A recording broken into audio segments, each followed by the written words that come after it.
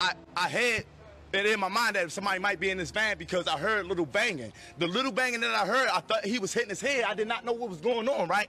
Until I got down to the police station, oh, they playing games. When I got down to the police station, they did not heard, hear me when I heard them say we gave him a run for his money.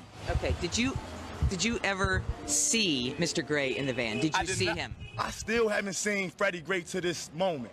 Last time I seen Freddie Gray was the day before they locked him up and did that stuff to him. Did you tell the police that you heard him banging his head against the van? I told homicide that. I don't work with the police. I did not tell the police nothing. What do you think? Tell me what you heard when you once you got in the van. What did you hear? When I got in the van, I didn't hear nothing. It was a smooth ride. We went straight to the police station. All I heard was like a little banging for about four seconds. You know what I mean? And I'm thinking this, he banging his head whole time. Now I know what was happening.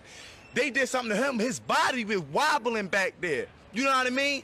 Cause he can't hurt himself back in no paddy wagon, yo. No, they don't strap us in there. So tell me again what what you actually What I actually heard, yes what you actually I just heard little banging, you know, just just just little, you know what I mean?